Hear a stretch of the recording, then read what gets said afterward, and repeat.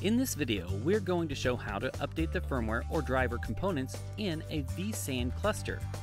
Before we begin, ensure that Distributed Resource Scheduler is enabled in the vSAN cluster.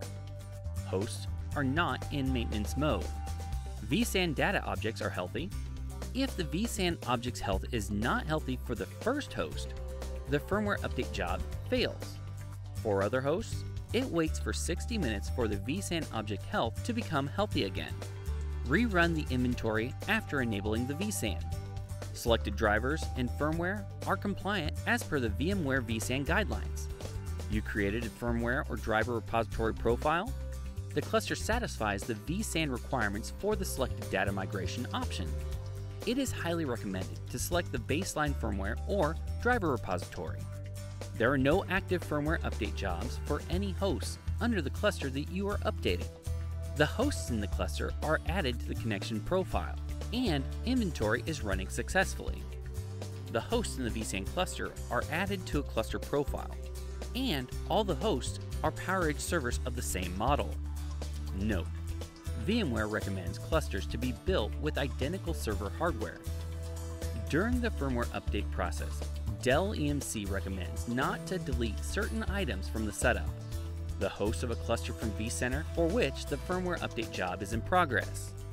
The connection profile of the host of a cluster for which the firmware update job is in progress.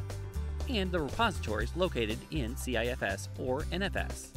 To begin the firmware update, right-click the vSAN cluster and navigate to All Open OpenManage Integration Actions and then Firmware Update OMIVV checks whether any other firmware update job is in progress in any of the hosts within the same cluster.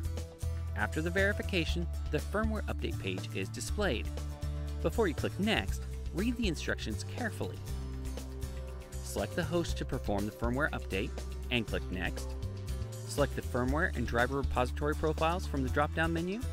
If the baseline repository is associated in the cluster profile, the associated firmware and driver repositories are automatically selected.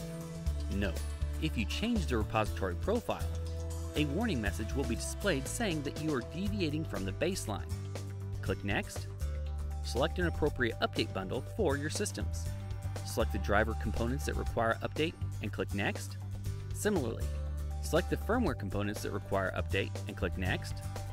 Read the firmware update information before you click Next enter the firmware update job name, and description. Here, description is optional.